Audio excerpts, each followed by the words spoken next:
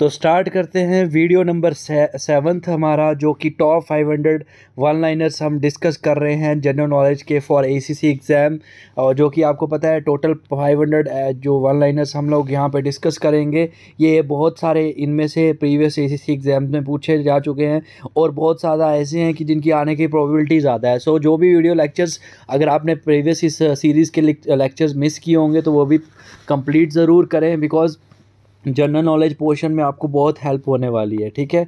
और बाकी अगर आपको इस जो पीडीएफ नोट्स जो इसके चाहिए होंगे अगर जनरल नॉलेज के तो for that you have to download ACC defence academy application from the play store तो हमने जैसे कवर कर लिए थे 240 तक क्वेश्चंस तो to two hundred forty one question हमारा यहाँ पे रहेगा।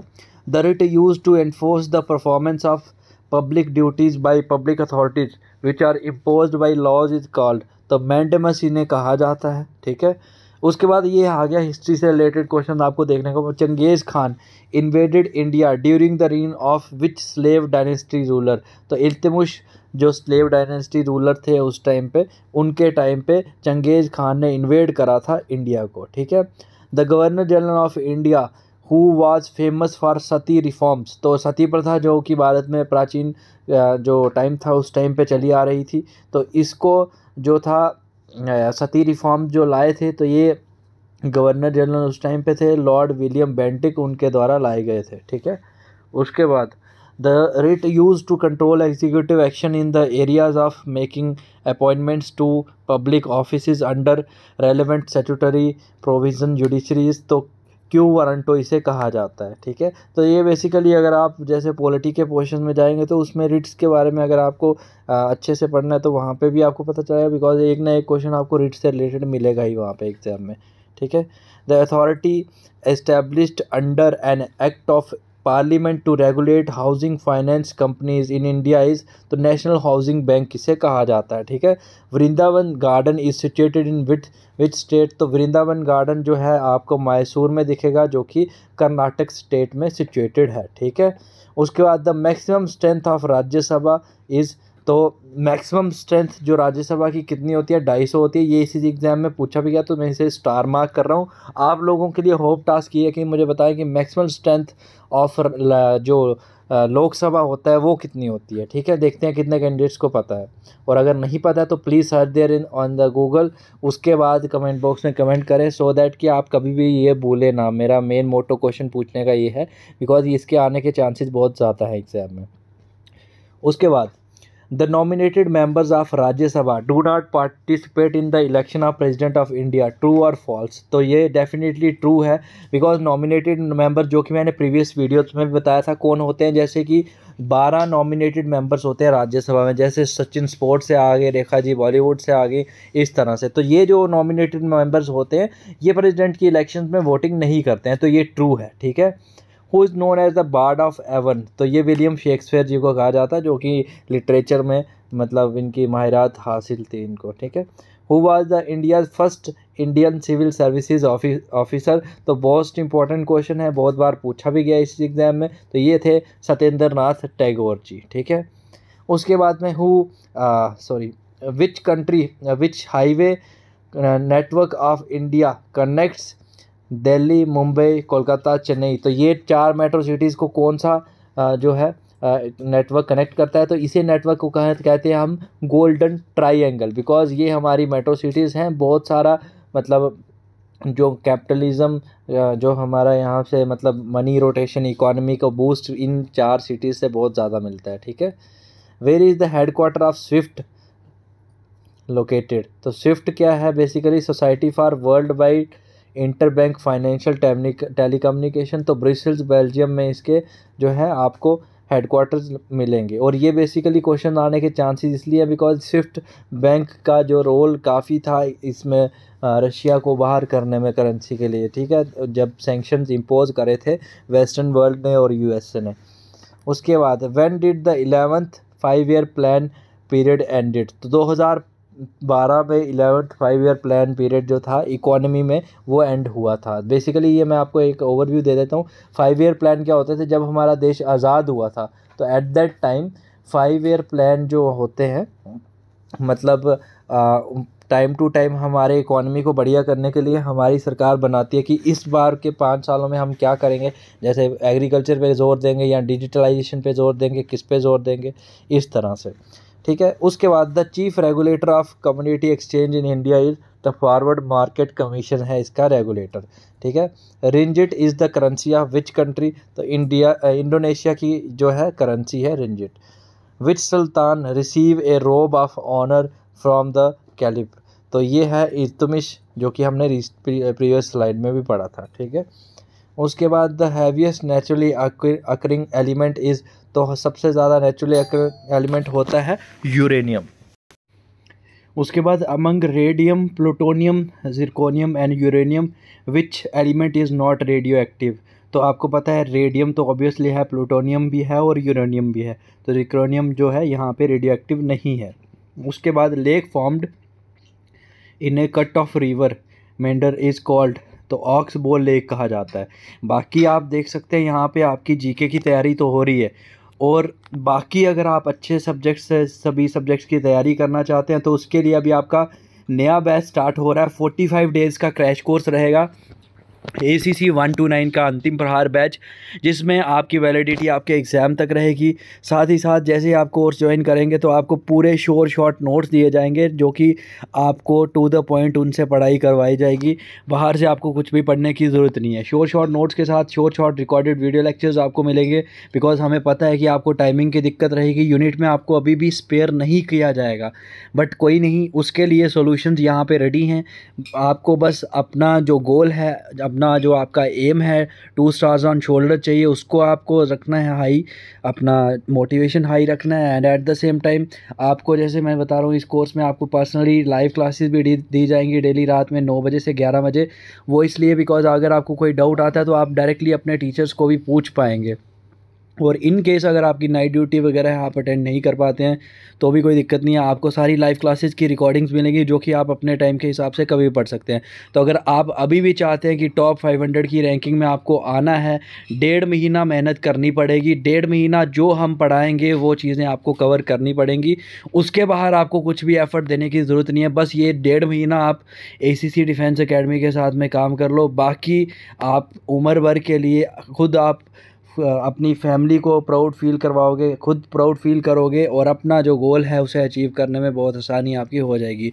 तो बाकी डिटेल्स के लिए या पर्सनल काउंसलिंग के लिए गाइडेंस के लिए या कोर्स ज्वाइन करने के लिए, आप हमें व्हाट्सएप कर सकते हैं at one two zero seven four five nine double six पे। आपको पूरे टीचर्स आपको वहाँ पर गाइड कर देंगे। तो चलते हैं question number two sixty one one पे। The rapidly growing mass of phytoplankton covering the surface of lake और पॉन्ड इज़ नोन एज तो यूट्रिपेशन इसे कहा जाता है। उसके बाद में which is the leading state in India in ship breaking industry तो डेफिनेटली हमारा जो कोस्टल रीजन है, वो सबसे ज़्यादा है गुजरात स्टेट का। तो डेफिनेटली ये इसका आंसर आपको शिप ब्रेकिंग इंडस्ट्री सबसे ज़्यादा कहाँ मिलेगी? गुजरात में ही मिलेगी।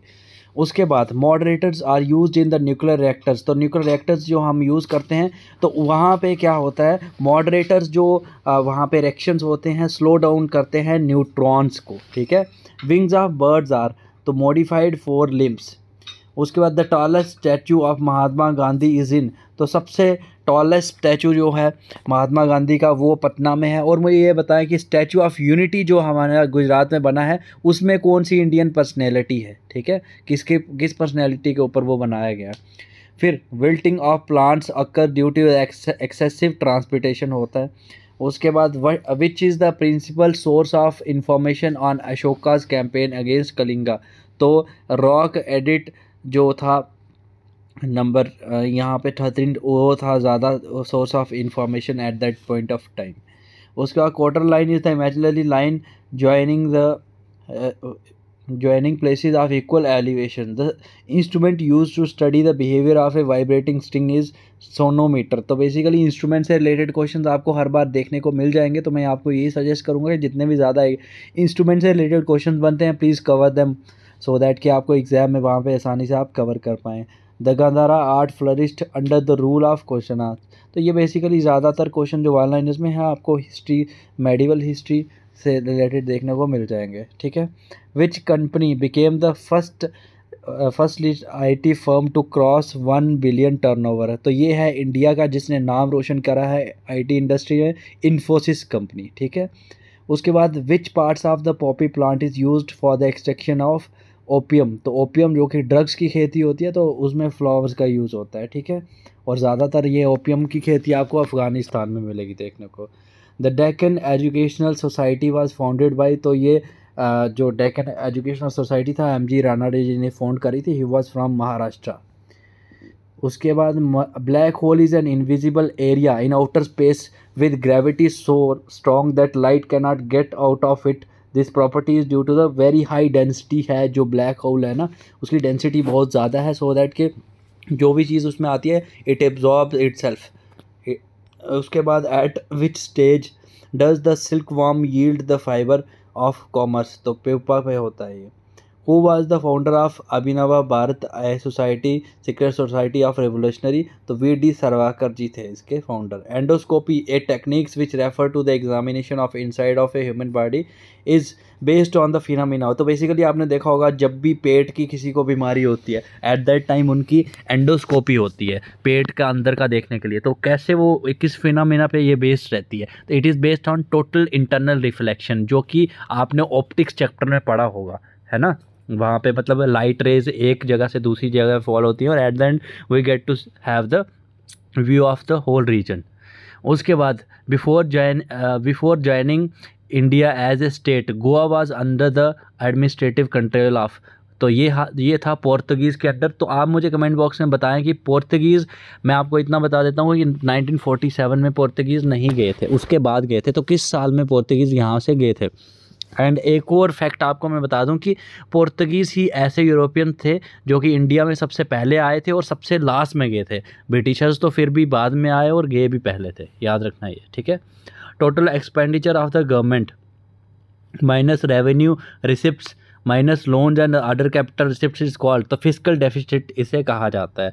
In human body blood temperature sorry blood pressure is controlled by तो ये थायराइड आपने सुना होगा बहुत बार uh, जिनको बीपी वगैरह के प्रॉब्लम होती है उनका थायराइड चेक भी होता है तो ये थायराइड ग्लैंड के थ्रू जो है कंट्रोल uh, करा जाता है।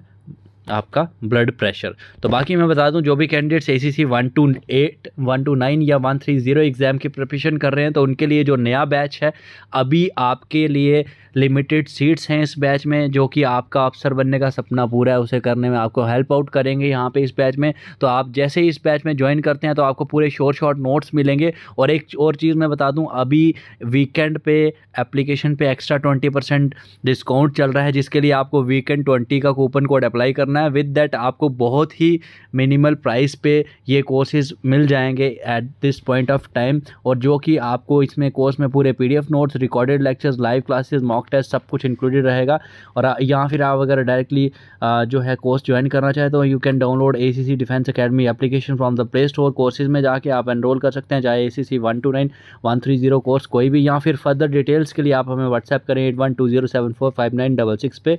या फिर अगर आप चाहते हैं कि आप अपनी यूनिट्स में या अपने घर के एड्रेस पे बुकलेट्स मंगवाना चाहते हैं, जो कि न्यू एडिशन की बुकलेट्स हैं, जिसमें कि आपको last six year six months के करंट अफेयर्स भी इंक्लूडेड रहेंगे, जो कि अपडेटेड वाली बुकलेट्स हैं। तो ये बुकलेट्स जो हैं, इनकी डिटेल्स के लिए या ऑर्डर प्लेस करने के लिए भी आप हमें प्लीज़ व्हाट्सएप करें at one two zero seven four five nine double six पे। और बाकी इस वीडियो को लाइक ज़रूर करें। And if you definitely feel कि आपको काफ़ी हेल्प हो रही है इसी एग्ज़ाम में तो इस इस वीडियो इस यूट्यूब चैनल को सब्सक्राइब करें सो so दैट कि इन फ्यूचर भी हम इसी तरह से आपके लिए यूज़फुल कंटेंट लेते आएँ। And in turn we will help you to crack this A C C examination thank you so much for watching